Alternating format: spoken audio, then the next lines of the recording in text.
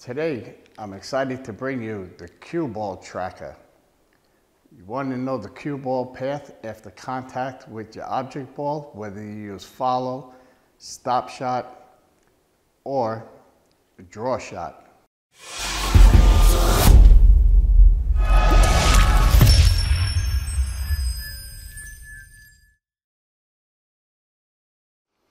All right, so there's two different versions, or I should say there's two different options. You could either get this one, they're white, uh, white decals. I know you can't see it in the video, but once I get it on a cue, you'll be able to see it. And then they make them in black also. So depending on the color of your shaft, um, cue ball tracker goes into explanations of what it actually does. So let's go ahead and put one on the cue and you can check it out.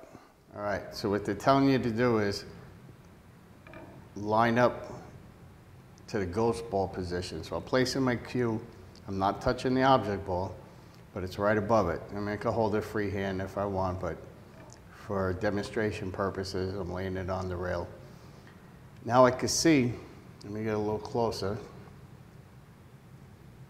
You can see the path position depends on how I hit. So the one that's off forward um, on a 45 to the left and the right, that would be a follow shot. The draw shot would be the 90 degree to the left and the 90 degree to the right. And in between would be the center ball hit.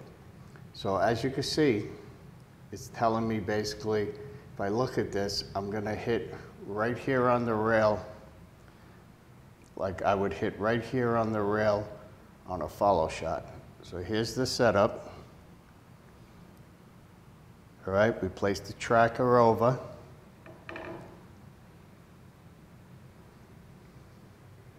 There you can see the tracker and it's showing me where I'm gonna hit on the rail.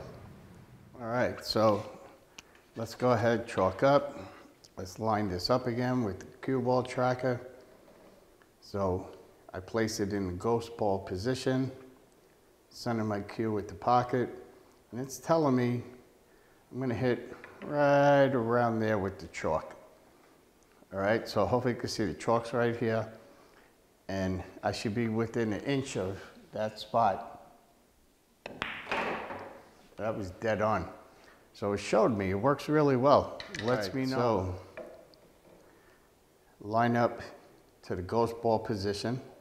So remember, my decal that's sitting on here, I'm lining up to the center of the pocket, ghost ball position, and it's telling me that a draw shot is gonna bring me down in this direction.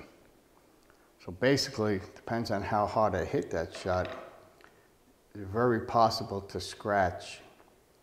So now that was great feedback. It's letting me know I'm going to come down this position and possibly scratch in that corner pocket.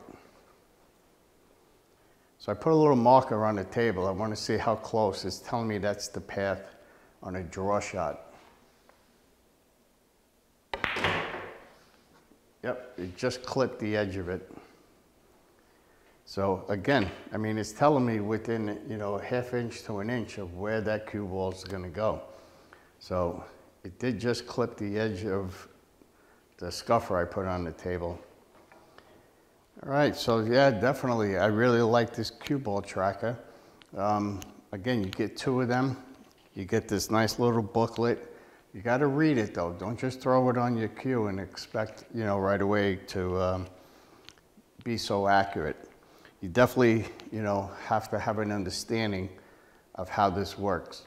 So if you're curious to know the cue ball, you know, path, again, you know, I, have done other um, product reviews on tangent line finders, work great.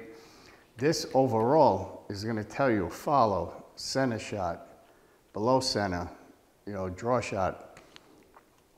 The difference in the path the cue ball is gonna take after contact. I highly recommend it. Cue ball tracker, definitely excellent item. It will help you have a much better understanding of the path of the cue ball after contact. I hope you enjoyed this video. Um, if you like it, please hit the like button, hit the subscribe button, leave a comment below. I would love to hear from you.